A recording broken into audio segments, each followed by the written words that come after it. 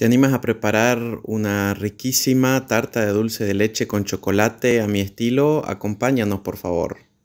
Vamos a empezar a preparar nuestra base para este delicioso postre. Vamos a usar eh, una taza de harina, eh, una cucharada pequeña o media grande de polvo de hornear. Tenemos ahí unas dos cucharadas bien grandes de azúcar como dos cucharas también de mantequilla, que temperatura ambiente es mejor, tres huevos, vamos a usar una cuchara de almidón de maíz y le vamos a agregar un poquitito de extracto de vainilla a esta masa eh, que ahora te mostramos cómo lo preparamos. Puedes tener ya también tu bandeja eh, enmantecada ¿sí? para eh, ponerla una vez que la armemos. Estamos mezclando ya el almidón de maíz con la harina y el polvo de hornear. Es ideal primero mezclar todos los polvos juntos. Y aquí en este punto puedo seguir con el azúcar, como es algo seco, también, ¿no? Se la agrego.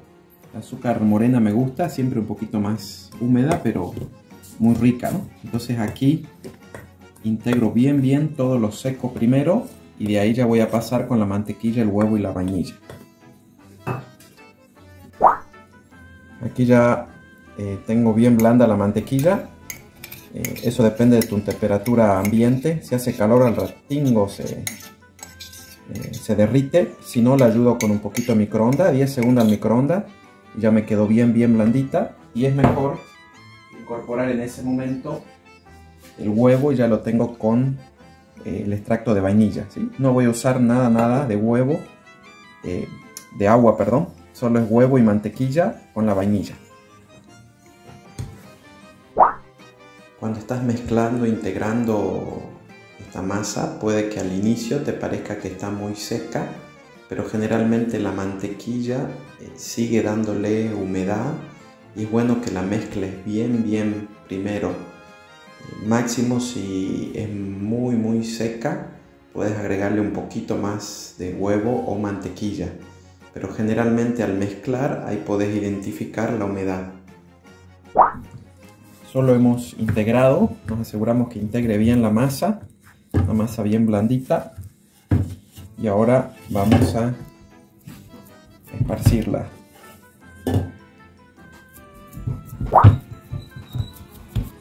Tiene un color muy bonito por el azúcar morena. Y como está bien blanda, puedo como plastilina acomodarla, ¿no? El gusto que como más te guste. Aquí conviene, en este sentido, esparcirla bien, lo más pareja posible, para que después lo que le vamos a poner arriba también vaya parejito. Aquí está la masa ya lista para cocer. Claro que si todavía tu horno no está encendido, puedes guardarlo un rato en la heladera igual. Pero te recomendamos pincharla para evitar de que levante más en una parte que en otra, ¿no? La pinchamos bien, horno bien calentito, unos 7 a 10 minutos y la cocemos bien riquito. Este es un punto ideal de cocción de la base. Eh, ahora sí hay que dejarla enfriar bastante. ¿no? Lo puedes dejar a temperatura ambiente unas 2-3 horas o una media hora en la heladera antes de seguir con el resto del preparado. Ya tenemos nuestra base entonces a temperatura ambiente.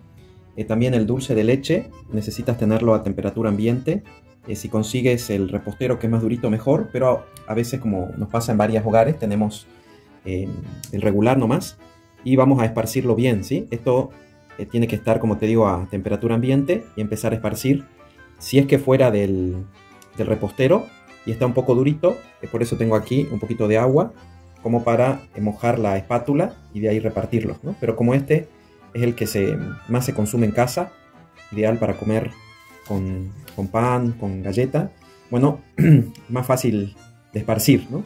Lo único que lo voy a meter después de esparcirlo bien, un rato a la heladera, porque lo necesito bien compacto, bien durito, para cuando le ponga em, el chocolate, ¿no? Y el chocolate lo que he hecho ya aquí es rayarlo para poder eh, derretirlo mejor, ¿no? Está bien rayadito, bien finito, va, a derretir más rápido.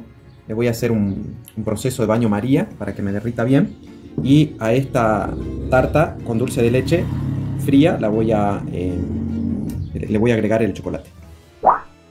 Y aquí te explicamos eh, por qué es mucho mejor el dulce de leche repostero para esta preparación, que en este caso no conseguimos, eh, porque en el dulce de leche repostero puedes emparejarlo mejor, que te quede bien, bien liso, ideal para poner el chocolate, pero aún si no tienes, aquí te mostramos cómo hacerlo con el dulce de leche que consumes o más eh, consigues. Esta es una de las formas en las que derretimos el chocolate tengo mm, agua en la olla, ya está eh, encendido el fuego y arriba en una charolita o bandejita de acero eh, que más o menos entre parejo y que no tenga riesgo de vuelco, de que no vaya a volcar. Entonces ya voy eh, calentando aquí el chocolate para derretirlo. Rayadito es mucho más rápido y fácil.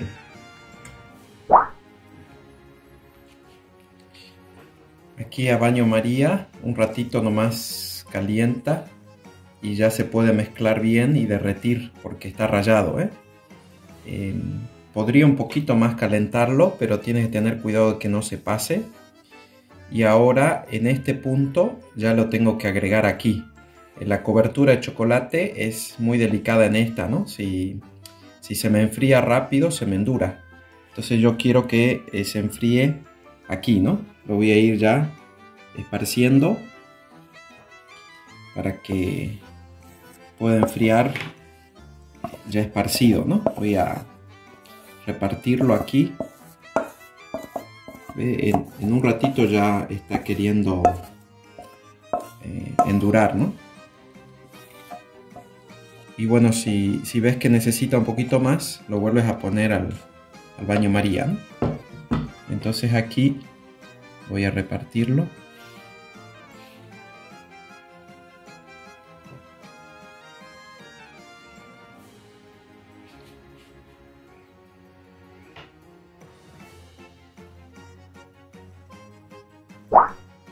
Las coberturas de chocolate tienen distintas texturas y formas de eh, ablandar. En este caso hemos usado el baño María, también se podría usar en microondas. Eh, podría estar un poquito más blanda para que sea más fácil de repartir, pero me he querido asegurar que el chocolate no se me pase eh, para que no quede así una pasta muy espesa y sí pueda repartirlo tranquilamente eh, estando todavía tibiecito.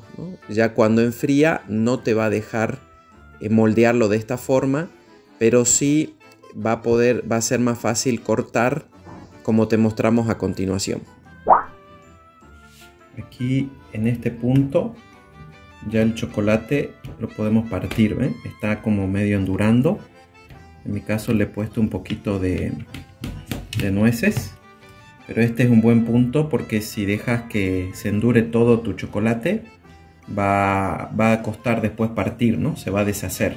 Aquí ya es un buen punto para eh, partir y poder ya eh, consumir. Igual lo puedes guardar en la heladera y lo comes después, ¿no? Ahí estamos, ahí tenemos esta galletita que ya va a ser probada por mi bella esposita. Mm.